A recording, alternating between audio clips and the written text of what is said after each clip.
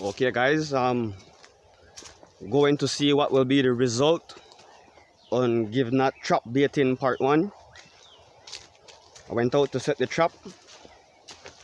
Um i'm now going to see what will be the results. Hunting is something that that has been a tradition in my family. My grandparents had 13 kids and was raised up on the river riverside what what we will call it here in Belize river valley area. So hunting has been a tradition in our family. And there's all kind of ways to hunt. I don't have a gun so I don't do gun hunting. I do traps fishing night spearing and different hunts that is in my category. I can't I can't afford a gun, but with the law policy here, it's a bit difficult for me to get a licensed gun. So I do my hunt very easy and simple. To survive. Well, not really survive, help myself. It's a hobby. It's fun for me to do.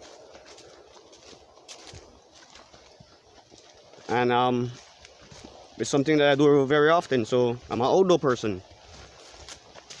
I always travel equipped my backpack my, my machete.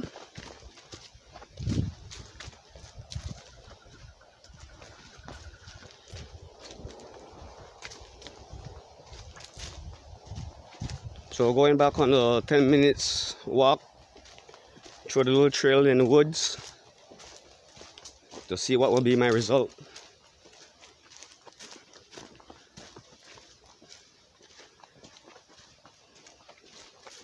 I do um gibnut night hunt also, but that that is with my uncle.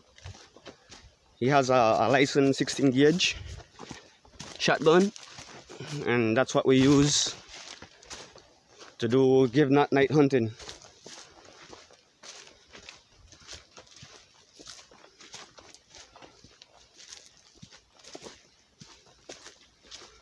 I have some spots that I've been baiting for a while now and we're getting ready to